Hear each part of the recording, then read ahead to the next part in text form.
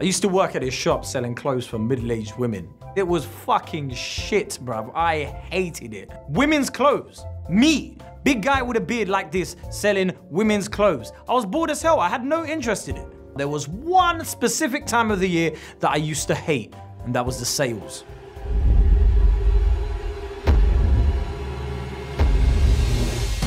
The sales turn people into animals. There's something about those little red signs that make people lose their shit.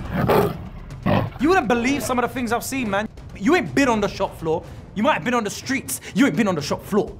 There was always one customer that would come in during the sales that you knew would make your life hell.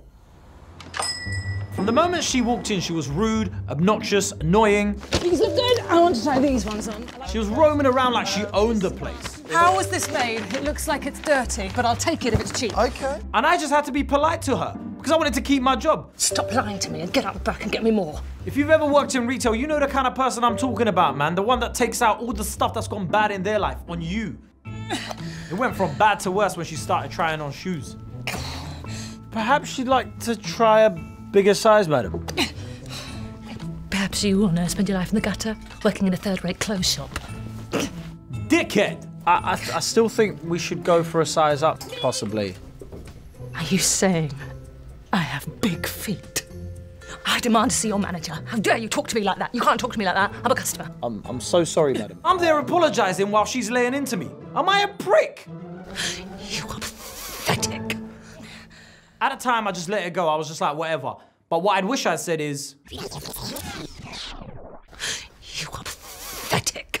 Okay, back up. Maybe your dirty, stinking feet are too big for that shoe anyway. Who do you think you are, bruv? Cinderella? I'm not your prince. Let me let you in on a little secret as well, all right? The customer is not always right. Why do you think every shop has a returns desk? You know what, actually, I'm gonna do every salesperson everywhere a little favor. Give me your bag.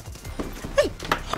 Ah, mate. Do you know what? If I could do what I wanted to now, I'd have probably taken out all her money, given it to charity, cut up all her credit cards, smashed up her phone into so many different pieces. Right, anything else, madam? No. No, thank you. That woman was a prick. Moral of the story, if you're gonna piss me off, I'm gonna smash up your phone, bruv.